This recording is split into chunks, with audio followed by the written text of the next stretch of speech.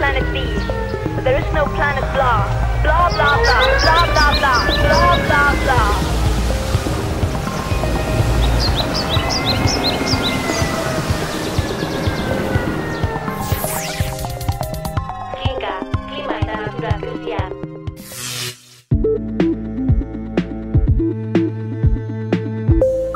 Albisteak.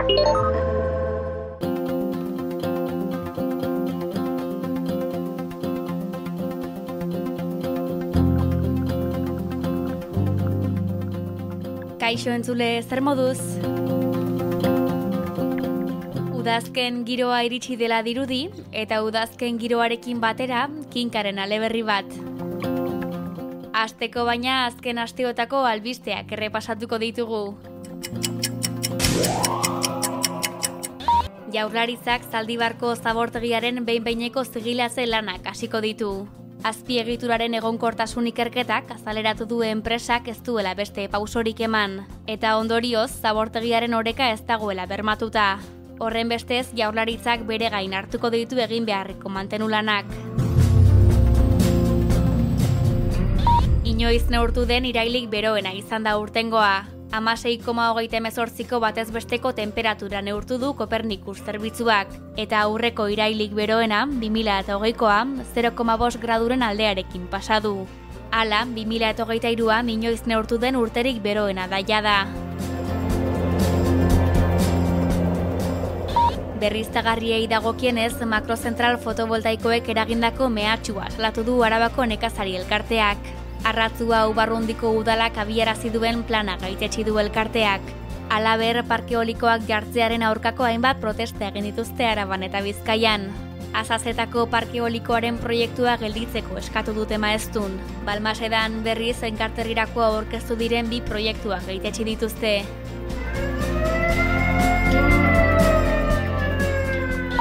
Erraustegiaren tramitazioan prebarikazioa egozita deklaratu du Hipolito Bilbao intxaurraga jaurlarizako ingurumen baimenen arduradunak. Ez betetze larriei ustez ez ikusiarena egiteagatik aldekatu dute. Jose Ignacio Asensio diputatua ere ikertzen ari dira ingurumenaren aurkako ustezko delitu batengatik.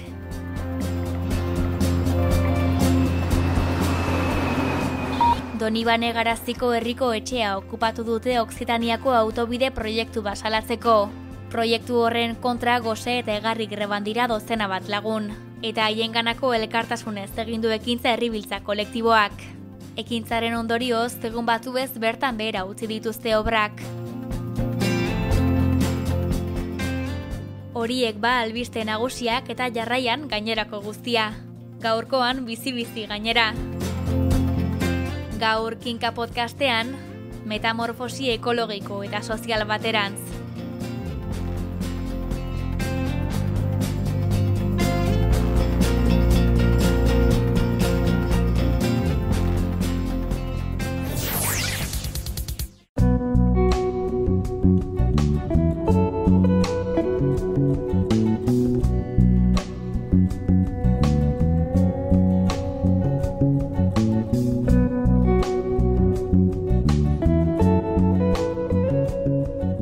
Kaixo lat, zer moduz? Ondo, ondo, oso ondo eta zu? Ondo? Primeran, zer hitz ekarri duzu gaur nagore, zer ikasiko dugu? Ba, gaurkoan hitz bat baino gehiago ekarri dut, hiru hitz dituen termino bat alegia. Ara, ados, eta zein da ba, hiru hitzeko termino hori. Planeta biziaren indizea. Planeta biziaren indizea, ederki, eta zer da?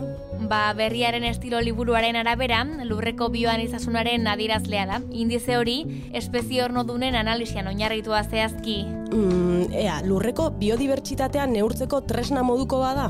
Hori da, espezie hornodunen populazioak zei joera duen adirazen du. Eta zer joera du, zer dio planeta biziaren indizeak?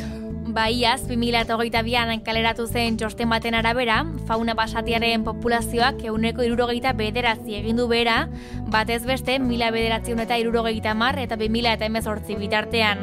Ia berrogeita mar urtean, ia euneko irurogeita mar egin du bera. Ba bai, hori diote datuek, eta berakada horren datu zehatza gainera aldatu egiten da eskualde geografikoaren arabera. Latinoamerikako eta Karibeko ornodunen populazioak kasurako eguneko laurogeita malau egin du bera batez beste. Ufana gore, hileak puntan ditut, beldurgarriak dira datuak.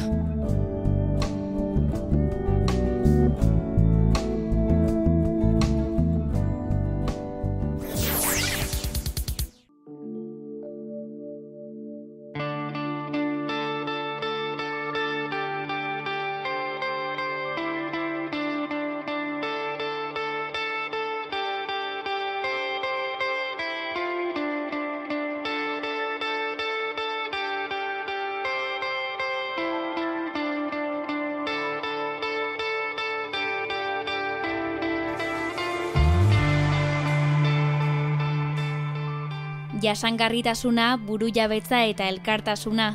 Termino horien itzulian bildu ziren urriaren zazpian eta sortzian eunka lagun baionan. Bizi mugimendu ekologistaren Euskal Herria buru jabe topaketetan. Bi egunetan bere izita, negitarau zabala atondu zuen mugimenduak. Berrogei itzaldi, beste hainbestea ditu, eun eta berrogeita marrelkarteren erakusmaiak eta animazioa askotarikoak izan zituzten. Duela hamar urte egin zuten beste ekitaldi baten jarraipena izan da topaketa. 2000 eta amairuan egin zuten alternatiba egunaren birgogo eta gixako bat. Orduan ere klima larrialdiaren afera jarri zuten erdigunean, eta afera horri aurre egiteko lurralde proiektu bat aurkeztu zuten. Xavier Arluxet biziko kidearen esanetan, aurkeztu zuten lurralde proiektu horren hausnarketa gaurkotua izan da topaketa. 2000 eta ogoita iruan, gogoeta horren gaur eguntzea eginda, eta antolatu da uh, ekitaldi berezi bat, aste buru osoa hartu duena, bertan, ba, hori berrogoi mai ingurukin, e, egun da berroita mar erakusketari eta lekukotasunekin baionako e, iri ba, pedagogia egin den, gure lujaldeak dituen e, altxa prima edo palankei buruz, errandai baita, ze desmartxa kolektibo baditugu, eremu ezberdinetan, elikaduratik e, energiara, mugikoztasunetik politikara, ekonomia eta elkartasunaretik pasatuz, ze eh, desmartxa kolektibo baitugun gure lujaldean, ba, gure bizi baldintzen berreskuratzeko. Horregatik, parada izan da, esplikatzeko zer den eta gozatzeko Euskal Herria buru jabe lujaldea baionako kahiketan. Buru jabetza terminoak jarri zion neurria eta izena topaketari, baina ipatu bezala jasangarritasuna eta elkartasuna ere bizi-bizi egon ziren asteburu osoan. Jasangarritasuna zaritu da lehenik. Klimaren aldaketaren kontrako. Bokan, ze egoera den, e, zek duen, e, berotegi efektuzko gazean isurketa sortzen, eta gara, gure jendartean antolakuntza mailak eta ze e, dependentzia duen fosile egaietaz eta nola egiten alden ba, bizimolde horiek aldatzeko eta dependentzia otarik ateratzeko eta bide eredu gehi batzu plantane baiteko eta badakigu, ba ez bari badugu nahi atmosferan den e, ba bi konzentrazioarekin gure ekosistemetan, gure bizi ere muetan bizi baldintzak agunt ezin jasanak ezari behar dugula hori, helburu hori hartu, lurralde jasangarri bat ureteko, ba, praktikak baditugula araberan egokitu, eta arlo ezberdinetan nola egiten alden, ba, mahazten hasten da lurralde proiektu hori, atibide batzu emanez, eta maila dula mahurteri konparatuz, lehen alternatiben erriskan egin zena, ba, erakusterat norbanako mailan badirela bai, desmartza honak, jahera honak ugeiteko, baina kolektiboki ere badirela beste tresna batzu aktibatzen ditugula, indar gehiago dutena eta klimaren aldaketari buru egiteko, eraginko jago ezartzen gaituztena lujalde mailan eginez. Elkartasuna zaritu da ondoren. Nola egin hori, denen azteko loturak indartuz, sustatuz, batean baztehera utzia izan zirenak, bai lujaldea ere muruan bizi girenetan, bai besteekiko ere, ba, jahera hori hartuz, konduen hartuz klimak bultzatzen gaituela, ba, planeta mailako eh, elkartasun horren ere aintzat hartzera, atmosferan ezartzen diren CO2 iren konzentrazioa, eh, berotegi efektuzko gazen iturria direnak, kalteak egiten du, ba, desorikatzen du baten entzat. Eta horregatik, gaur egun e, duela mar urte aldaketa klimatikoa ez barin bazen hemen lehentasunetan ikusten ondorioak, e, duela bi mende industrializazioaren garaietik eta e, karbonoaren ba, erabilpen garaietik, e, hasieratik egin diren isurketek dituzte gehien bat kaltetu, gutxien erabili duten, karbonoak erabili duten e, ba, eskualdeak, eta hori da ego hemisferioan direla kalte nagusienak agertzen hasi, orai zabaltzen ari direnak. Beraz, elkartasun hori da aintzat hartzera, gure bizitzeko moldeak, egiteko moldeetan, babaditugula e, ondorioak auzoetan eta denek aintzat hartu baituztela.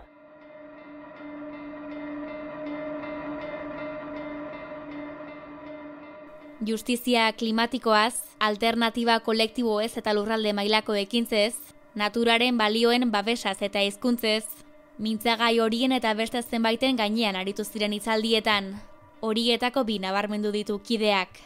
Justizia klimatikoari buruzkoa aipatu du lehenik. Adibidetatzen alda, itzaldi bat eh, klima aldaketaren hobekiago uretzeko. Hor, e, ukan ditugu ba, bi aritu eta aritu e, izan direnak. Aito bestik egin digu gehiago aurkezpen bat perotegi efektuzko gazen isurketaren jatorria eta horren inguruko ondorioak eta murrizketaren e, kausitzeko bide batzuren ba, aurkezpena hori e, pixkat gauza teorikotik praktikoa gora pasarazteko, eta osatu, izaldi hori osatu izan da, ba, Elisa Sainz Murietak, erakasle eta ikerlaria Euskal Herriko Unibertsitatean, eta B iruze klima ikerketa gunean, eta arek egiago egin dizkigu, ba, pai aldaketa klimatikoa e, orai martxan da, eta ari dira egoera kaldatzen, eta nola hori egokitu behar giren, eta nola hori egokitzeko, ba, justizia sozialaren hildotik atxeman behar diren eh, aterabideak zuzentasuna aintzat hartuz eraginkortasuna lortzeko gaur egun eta geroan konduan hartu beharko diren elementuak eh, jandeazea antolatzeko eta ba, bizik ahitasuna eh, kausitzeko. Naturaren balioen babesari eta hizkuntzei buruzkoa bigarrenik. Beste maila batean ere, egin dena lotzera bioanistasunaren realitatea eta nola eta nun aintzat hartu behar den bioanistasuna eta ze lotura duen horrek ere kulturanistasuna eta hizkuntzanistasunarekin desoreka puntu hori eta hizkuntzetan ba, paraleloak egiten direla eta ba, oreka hoien bermatzeko, atxemaiteko ba, premia ba, ikusten da bai bioanistasunaren uh, arloan eta horrek ba, klimaren inguruan erituen ondorioak eta hizkuntzetan ere ba, zeko goeta ukan behar den, oran bata borroka bakotxak beste ere elikatzen du, indartzen du, eta atera bideak denentzat onak direnak eh, ere ikusteko parada maiten du.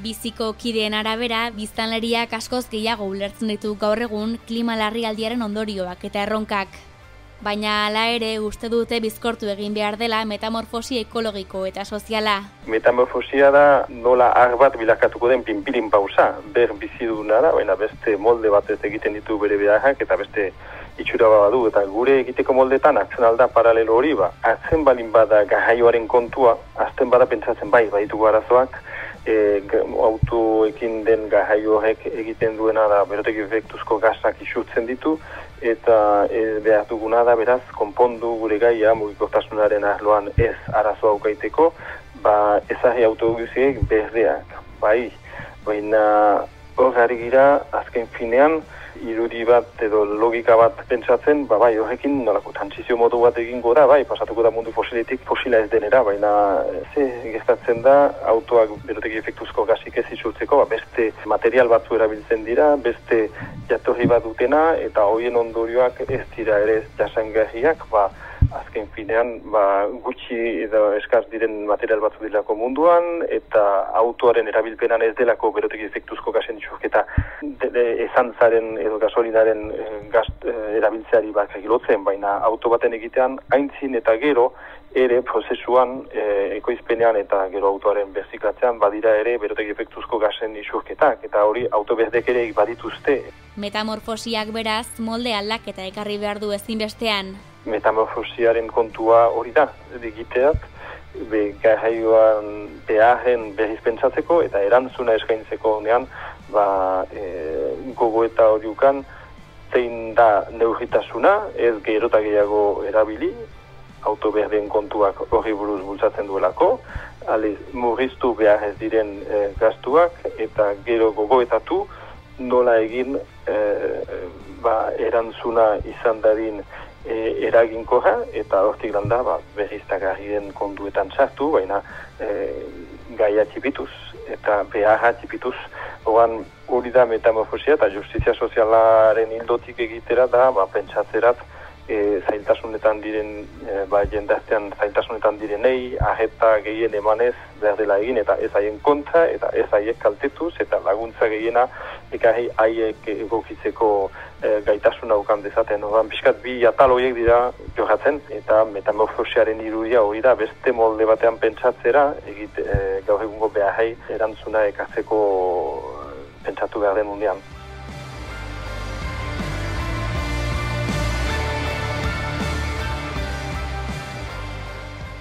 Urteak dira bizi talde ekologista sortu zela. Gaur egun eragile egonkortu bat da Ipar Euskal Herrian. Mugimenduaren funtzionamendua kontatu du kideak. Bizi mugimendua 2009an sortu da, larrialdi klimatikoa justizia sozialaren hildotik bat borrokatzeko. Egin da Ipar Euskal Herrian errotuz, eta handik loturak ere atxikiz ba, nazioazte mailako sortzen ari zen mugimenduarekin klimaren arloan, garaian. Eta bere desmartxetan, ek, bere zitasuna duena, ba, bere ekin guziak ezagir dituela, araudi berezi batzukin, da edozein arlotan egoeraren diagnostikoa egin. Gaizki doan, morrizketa egiten duena edo gelditu behar dena argiki definitu, eta kritikak e, pedagogikoak egin edo ekintzen bidez joan bigarren atala zen, ba, nola egin alternatiba baten proposatzera. Hori ezin balin badagin, baina behar balin badigu energia edo mugikortasunaren arloan, e, ba, beti behar eguarin baitugu, ba, ze proposatu desmartza eredu gahiak aintzinean plaza publikoan eman. Eta hori egiteko unean, bazen ba, gogo eta egiteko proposatzen zaik alternatiba bat, ba, bai, horizonte moduan epe luzeko helburu batzu argi utzi, baina ber denboran ere gaur eta hemen ja praktikan emaiten alziren desmartzak nola azpimarratu ez ba, eguna handia itxoiteko, egunetik beretik azteko e, desmartza eredugarrietan ba, oituratzen, beti eginda arlo ezberdinan ere ba, formakuntza saioen e, baloratzea, nola egin hori formatuz ba, bai militantzia, eta bai kanpoari buruzko itzaldietan pedagogia eginez eta gai horiek sozializatuz. Eta ezartzen da ere horrez gain, tokiko abalin bagira ere gaia globala denez klimarena, ba, nola saretu, eta saretu ba, beste hainbat e, eragilerekin, estatu, frantzese estatu mailakoakin, adibidez, edo Europakoekin, edo mundu mailako sareetan ere, ba, bere tokiak okatuz, eta ba, antenak edo loturak ere atxikiz. Eta horrela, kideak bilduz eta gehituz joan dira. Olako errezetarekin, ibilbidearekin, bizik lortu du ba, eragiten, txipitik eragiten, hemengo potentzialak eta iniziatibak e, historikoak izan direna beti lujalde txipietan, natxamaiten diren aterabide zoikoak ba, ezagutuz, ezagutaraziz eta aieta zindartuz, erikatuz. Baina klimoarekin e, josiz hori gai horiek, jendartetan ditugun bizimoldek klimarekin duten lotura ikusiz, eta argi utziz, sistema aldatu behar dela, da jendartean gehiengoan den e, ba, eredu ekonomiko eta justizia falta duen horren aldaketatik etortzen dela. Atera bidea klimaren erronka jabazteko. Eta hola hasiz, poliki-poliki, indartu joan da, jendea urbilduz, ekin zamolde horren eragin kostasunari zentzu emanez, pasatu da, ogoi bat edo kide zituen elkartea, ba, ia ia sortziun bat kidetara. Horregatik, bide hori jorratuz jarraitu nahi dute aurrera. Xavier Arluxet. Gaur egun, ba, bideo hori johatuz, ba, lujalde proiektu buru jabe jasangarri eta solidario baten proposamena egiten du, goetatzen du, eta horrekin ba, jendazteari buruz erakusteko ere, ba, klimari buru egiteko ba, zetzezna edo ze bide entezken indartu, eta beste moran, ba, militantziak ere ikus dezan gure lujaldetan, eta beste lujaldetan ere, ze jarrera, ze potentzial behar den aintzat hartu, ba, zinean dugun erronka hori, erotak ere ikusten aldena, ba, kausitzeko, edo erronka hori, ba, hori buru egiteko. Egiteko.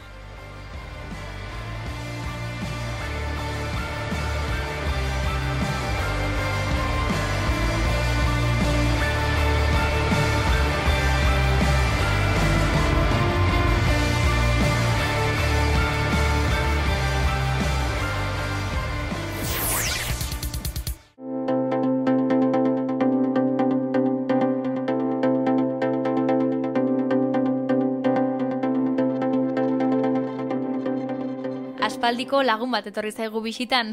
Bai, uda aurretik ikusi genuen azkenengoz, baina izu etzaizu udako kolorea joan egorka. Ongi etorri berriz gurera. Kaixo neskak, zemoduz. Oso, ondo, udagiroa egia esan, oraindik, naiz eta asteburuan ba, bueno, euria ere egin duen, baina udarekin lotzen duan aldartea ekarri duzuzuk ere gorka eta umore ona. Eta horrez gain, baita aholkuak ere bai ezta, baina ikuspegi positiboarekin landuta beti. Bai, e, oraingoan, e, bueno, aurten etorriko gabeste ikutu batekin, zer zaizuen. Oso ondo, kinkaren lehen denboraldian hain justu, gure ohiturako betzeko aholkuak eman zen izkigun, hiru koskatan egiteko gomendioak, bigarren denboraldian ordea, beste dinamika bat ekarri duzu ezta? Bai, bigarren denboraldian egingo deguna da, aholkutxoak eman e, gure kontsumoa murrizteko.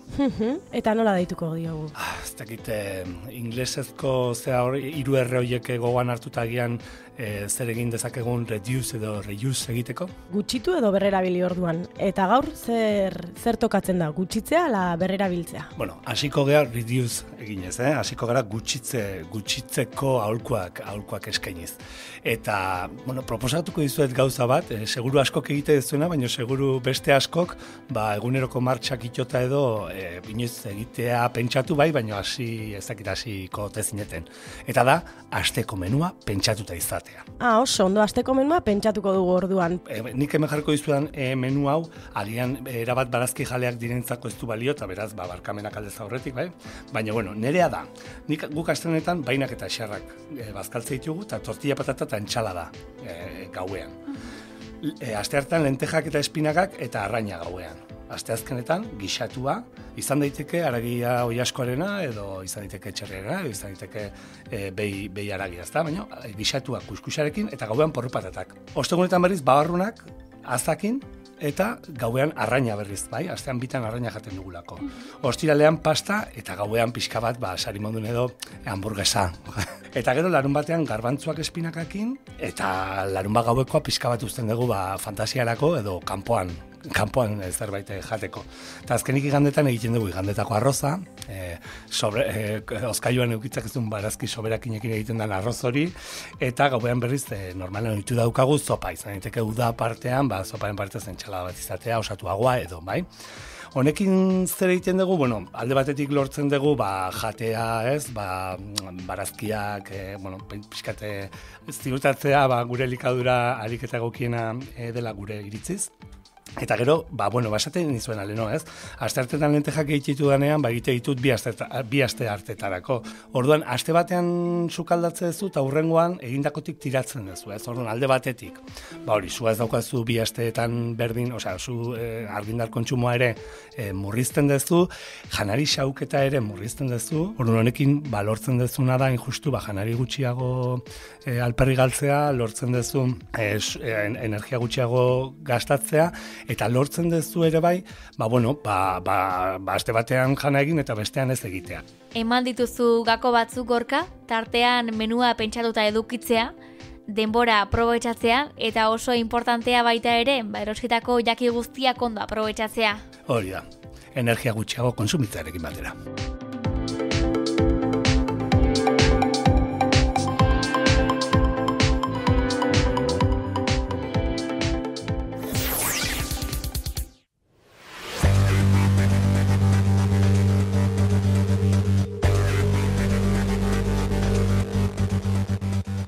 Kaixolatz, amaitzen ari gara dagoeneko. Bai, iritsi gara berri honen atalera. Hori da, eta gaur energia izango dugu izpide. Ados, eta zein da energiaren inguruan dakarkizun berri ona. Ba, berria da, lehenengo aldiz berriztagarriek erregai fosilek baino argindar gehiago sortu dutela Europako batasunean. Ara, hori bai berri ona. Ba bai, enber taldearen arabera maiatzean eguzkitik eta izetik etorri zen argindarra sortzeko energiaren euneko geita maika eta erregai fosiletatik berriz euneko geita zazpi tiran agore ez dain alde handia, baina bueno, berri ona bada behintzat. Esan duzu energiaren euneko geita maika eguzkitik eta izetik etorri dela, eta erregai fosiletatik pitxin bat gutxiago, euneko hogeita zazpi. Bai, hori da, eta nazio batu erakundea gobernuei eskatu die ba horrela jarraitzeko, hartara klima aldaketaren kalteak ba harindu alizateko. Haren datuen arabera, temperatura bat koma bost gradu baino gehiago ez berozeko, 2000 eta hogeiti 2000 eta hogeita marrera bitartean, eguneko amaika murriztu beharko da munduko ikatz produkzioa, eguneko lau petrolioarena eta eguneko iru gasarena. Beno, baditugu orduan kopuru eta helburu argiak. Babai, baina betetzea tokatzen da orain. Importanteena aldaketak egiteko.